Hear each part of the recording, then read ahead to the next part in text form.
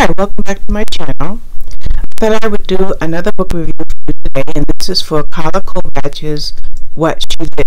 Now, if you read any of Carla Kovach's books, you'll notice, you'll know that she writes the, de the Detective Inspector or Detective, the Detective Gina Harte series. It's currently a nine-book series. I didn't read books one and two, but I did read three through nine and the most recent book came out in July, and that series is ongoing. However, this book here, what she did, and you'll see the image above, is a standalone psychological thriller. So she she veered off. I got a piece of hair. She veered off from her crime thriller series to write her first psychological thriller. So, what is this book about? Well, it's about a woman named Marissa who led a quiet life since the murder of her mother when she was a young girl. And when she, when her uh, mother died, she was taken in by relatives, and was as a child with the relatives that took her in, she was powerless. They were not loving family. That power that powerlessness continued as she became an adult.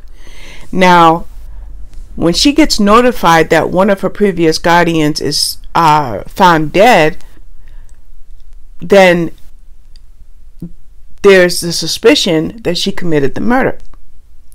As a matter of fact, someone says that they found her, they saw her car near the home of that dead relative. The thing is, Marissa knows that she didn't kill this person. Wait a minute. She thinks she didn't kill this person, but the thing is, she's not sure. She can't prove it. Why? Well, her memory fails her, and there's a very specific reason. Why does her memory fail her regarding this murder? I'm not going to tell you which person got killed. Now, to add, to rub more salt in the wound, Marissa has new neighbors having recently moved, and one of them is also found dead. Again, she thinks. I, I, I, I, I didn't do it, did, did I? I, no, no, I couldn't have done it. But this begs the question why did these two murders occur? Who's the killer? What is the motive? Why is Marissa unclear and uncertain as to whether or not she killed these individuals? And can she prove to the police that she's not a killer? And can her memory be trusted now or ever?